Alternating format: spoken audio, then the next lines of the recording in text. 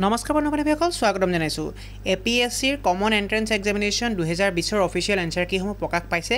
যদিহে আপোনালোকে A P S চিৰ কমন এণ্ট্ৰেঞ্চ এক্সামিনেশ্যন দিছিলে এইবছৰ তেতিয়াহ'লে আপোনালোকে অফিচিয়েল এনচাৰ কীসমূহ চাব পাৰিব? কিদৰে অফিচিয়েল কীসমূহ অফিচিয়েল এনচাৰ কীসমূহ চাব আমি আজি এই ভিডিঅ'ত আলোচনা কৰিম। নমস্কাৰ বন্ধু বান্ধৱীসকল মোৰ নাম হৈছে অংকুৰ এছ শৰ্মা আৰু আপোনালোকে চাই আছে আপোনালোকৰ আপোন চেনেল জব মিল আছাম য'ত অসম তথা কেন্দ্ৰীয় চৰকাৰৰ বিভিন্ন চাকৰিৰ লগতে চাকৰি সম্পৰ্কীয় বিভিন্ন তথ্য পাতি আৰু প্ৰয়োজনীয় প্ৰশ্ন কাকতসমূহ আলোচনা কৰা হয়। যদিহে আপোনালোকে পোনপ্ৰথমবাৰৰ বাবে আমাৰ চেনেললৈ ভিজিট কৰিছে অনুগ্ৰহ কৰি আমাৰ চেনেলটো ছাবস্ক্ৰাইব কৰিব লগতে কাষৰ নটিফিকেশ্যনৰ বেল বুটামটো প্ৰেছ কৰি অল কৰি ৰাখিবলৈ নাপাহৰিব যাতে আমি আপলোড কৰা প্ৰতিটো ভিডিঅ'ৰ নটিফিকেশ্যনে আপোনালোকে লাভ কৰে। ব'লক এতিয়া ভিডিঅ'টো আৰম্ভ কৰোঁ।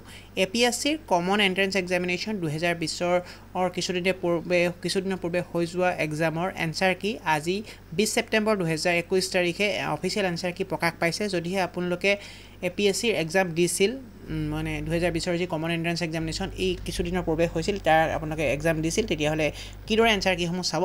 দুইখন পেপাৰৰ এনচাৰ কি প্ৰকাশ পাইছে? ব'লক চাই লওঁ।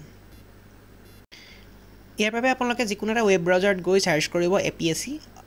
Assam public service commission আৰু প্ৰথম যিটো ছাইট খোল খাব A P S C dot N I C dot in তাত আপোনালোকে ক্লিক কৰিব। ক্লিক কৰাৰ লগে লগে অসম লোক সেৱা আয়োগৰ যিটো অফিচিয়েল ছাইট সেইটো দেখা পাব।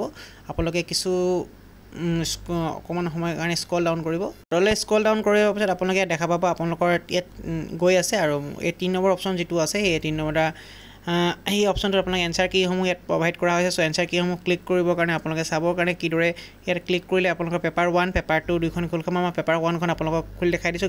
দৰকাৰ মই অলপ জুম কৰি দেখাই দিছোঁ যাতে আপোনালোকৰ সুবিধা হয়। ইয়াত paper G S paper one আছে। চ' ইয়াত আপোনালোকে ক্লিক কৰক। ক্লিক কৰাৰ লগে লগে আপোনালোকে আপোনালোকৰ ডাউনলোড হ'বলৈ আৰম্ভ কৰিব। আৰু ডাউনলোড হোৱাৰ পিছত আপোনালোকে এই পেষ্ট পেপাৰ ওৱানৰ যি এনচাৰ কি তেনেকৈ দেখা পাব। পেপাৰ টুৰ এনচাৰ কীসমূহ আপোনালোকে দেখা পাব। চ' আমি কিছু দূৰ অপেক্ষা কৰোঁ। আৰু অপেক্ষা কৰাৰ আপোনালোকক মই ডাউনলোড হোৱাৰ পিছত দেখাই আছোঁ। ডাউনলোড হোৱাৰ পিছত আপোনালোকে পি ডি এফ ফাইলটো এনেদৰে দেখা পাব।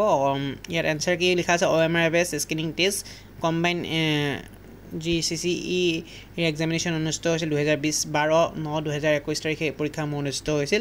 আৰু এই পৰীক্ষাৰ আপোনালোকৰ পেপাৰ ওৱানৰ যি চিৰিজ ৱাইজ দিয়া আছে যদিহে আপোনালোকৰ এ পেপাৰ আছিল তেতিয়াহ'লে আপোনালোকৰ এই এনচাৰ কিখিনি এইদৰে হ'ব। কুৱেশ্যন পেপাৰখন যিটো দি পঠোৱা হৈছিল আপোনালোকক আপোনালোকে মিলাই চাব আপোনালোকৰ এনচাৰ কি কিমানটা শুদ্ধ হৈছে। আৰু তাৰ ওপৰত বেছ কৰি আপোনালোকে এইখন কুৱেশ্যন বিৰ মানে পেপাৰ ওৱানৰে ছিৰিজ বিৰ হয়। চ' এনেদৰে আপোনাৰ গোটেই ছিৰিজখিনি মিলাই চাব। গোটেই ছিৰিজখিনি ইয়াত এভেইলেবল আছে। এশটা কুৱেশ্যনৰ এনচাৰ ইয়াত ধুনীয়াকৈ সন্নিৱিষ্ট কৰি থোৱা আছে। যি চাৰিটা ছিৰিজ দিয়া আছে। চাৰিটা ছিৰিজৰ এনচাৰ কি প্ৰকাশ পাইছে ঠিক সেইদৰে পেপাৰ টুখনো আপোনালোকে মিলাই চাব পাৰিব।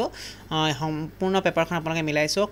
আৰু ইয়াৰ ওপৰত বেছ কৰি আপোনালোকে মেইনছৰ কাৰণে প্ৰিপেৰেশ্যন কৰিব পাৰিব। আপোনালোকৰ কিমান নম্বৰ হৈছে বা কিমান নম্বৰ আপোনালোকৰ ইয়াত আপোনালোকে পাব।